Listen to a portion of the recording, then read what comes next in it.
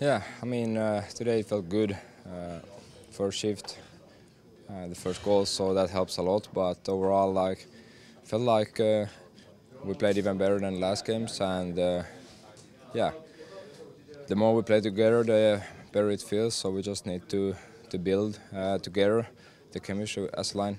Seems like every game this season has been really tight. A lot of one-goal games, uh, two-goal games. Just for yourself, how much does that help kind of get into the action this season when every game is just so intense?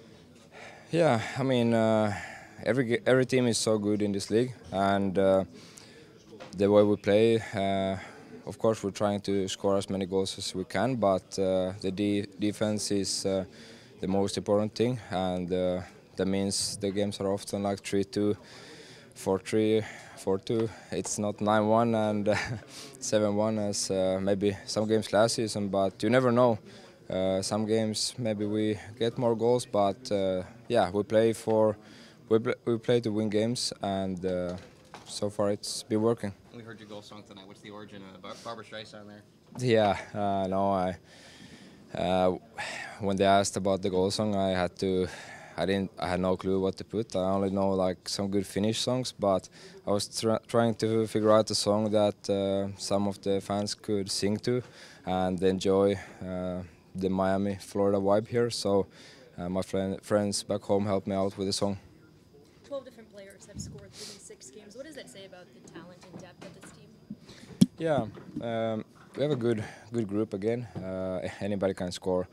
Uh, the D's, the forwards. So we just need to keep going. Uh, we have four good lines, and uh, yeah, as I said, when we play the right way, the goals will come.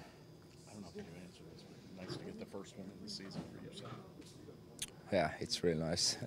it's uh, it's the first one, so it's uh, only one way from here, and just trying to enjoy every game and uh, enjoy the play with the guys here.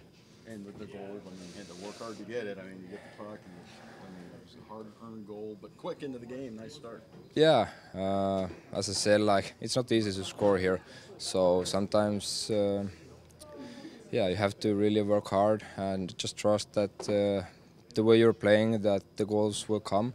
Uh, it's not like you will score five goals in a game. It's more like it will come when you play good enough and earn a, earn a bounces. And uh, today we played good as a line and got a couple goals.